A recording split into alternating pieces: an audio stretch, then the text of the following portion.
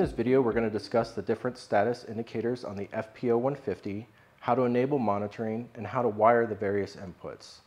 I just want to make note, in the larger QX door kits, there might not be a B100 present, but two separate power supplies. In this example, there might be one enabled for 24 volt and the other will be set for 12 volt. There is a jumper on the right-hand side of the board that will alternate between the two voltages, disconnect power first, and change the jumper to the desired settings. Getting into the module, first we're going to start off with the Flex IO input. This connector supplies the FAI status between the FPO and the accessory boards in the door kit. These cables will be supplied and installed already with each accessory board. For installing batteries, use these connectors here. You're going to route these to the bottom of the enclosure and install your batteries.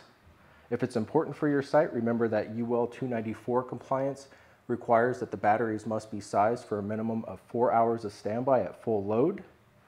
Speaking about the AC input here, we have white for neutral, green for earth ground, and black for hot. With a successful connection, the green LED labeled AC on in the bottom left corner will come on and remain solid green. For whatever reason, the voltage is out of range. You might see an AC fault LED, which we'll mention in a second. Always remember to please meter check your AC power to diagnose further. The LED indicator bank that is located in the bottom left corner, starting at the top, we have FAI. This will flash red when a fire alarm input is received on the fire alarm input terminal. Below that, we have ground fault. This will flash yellow when an impedance is detected between the earth ground and any voltage output or DC common. A ground fault will also light the system fault LED we, below that, we have AC fault. This will flash yellow when the AC input voltage is low or missing. Below that, we have the system fault. This will flash yellow when a system trouble is detected by the FPO. This status will group several conditions together, such as missing battery, if battery detection jumper is on, earth fault ground, if earth fault ground jumper is on, battery voltage out of range, DC output voltage out of range, a ruptured fuse, accessory board fault, or an internal fault.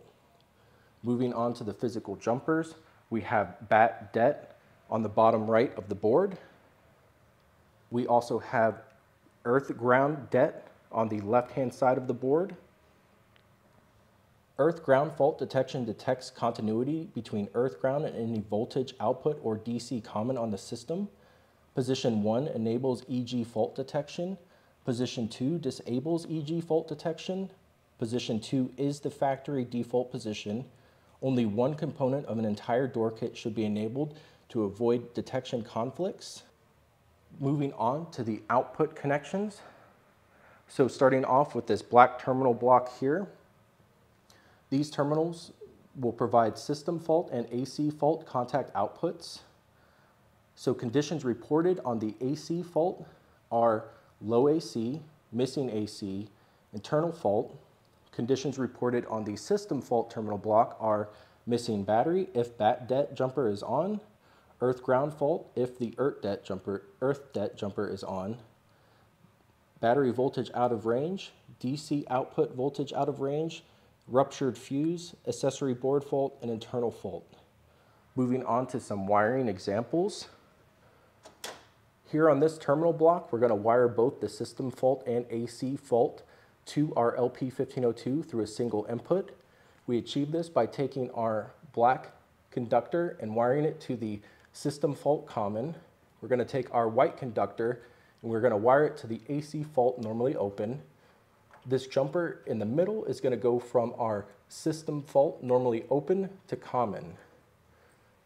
This connector will then connect to our LP1502 on terminal block one on the fault and ground terminals.